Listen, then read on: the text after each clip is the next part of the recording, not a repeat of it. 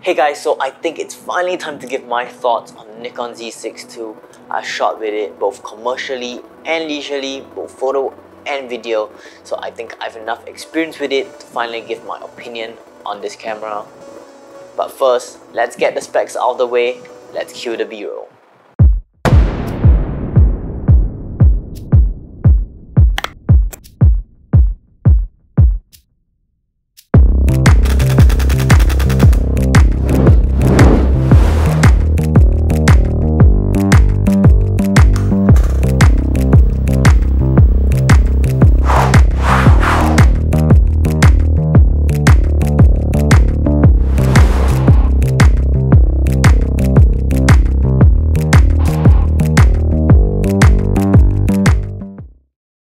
Just a little disclaimer before I continue my review. I am sponsored by Nikon. I'm one of their Z creators, but this review is completely independent. They have not seen this review before it goes live, and I'm gonna give my honest opinions on this camera. So I previously used the Nikon Z6 and I moved over to the Nikon Z6 II. And when you move over, there isn't like much of a difference until you move back to the Nikon Z6. So the first thing you're gonna notice is that the Nikon Z6 II's autofocus is significantly better. It acquires so much faster compared to the Z6. I tested out its burst autofocus and it managed to nail most of the shots and this is all thanks to that extra EXPEED processor which also increases the burst rate to now 14 frames per second and increasing its buffer.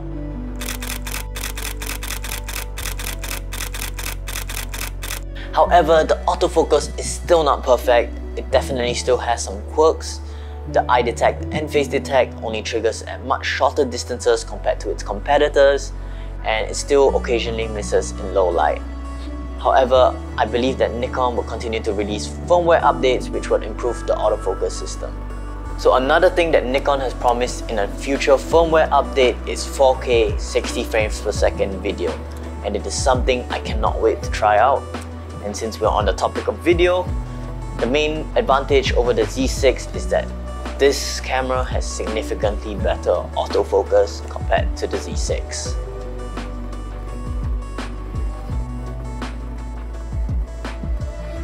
Images and footage all come out quite similar to the Z6 since both cameras are essentially using the same sensor which is not a bad thing at all images that come out on both of these cameras are great and here are some sample shots of them.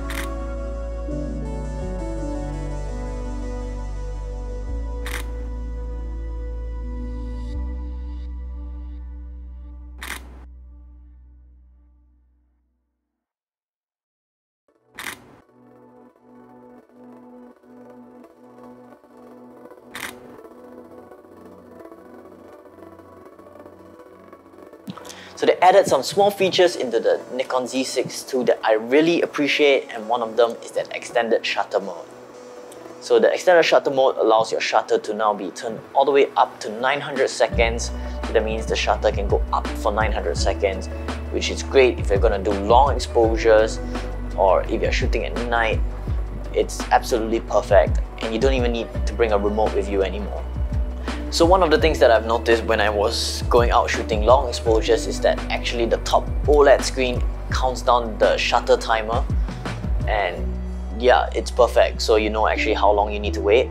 And there's something for you to stare on while you're waiting for your long exposure to finally if you're using the Nikon Z6 right now, the upgrades might seem a little minimal to you, but I personally would have upgraded anyways just based on the dual card slots alone that redundancy is a major plus. And those few little additional upgrades as well does make the Nikon Z6 II a much better workhorse of a camera. If you're a DSLR user and you still haven't moved over to the mirrorless system yet, I think the Nikon Z6 II is a really compelling buy and is an absolute workhorse like how the D750 is. So thank you for watching this video. If you like this video, give it a thumbs up Subscribe if you haven't and feel free to leave a comment down below.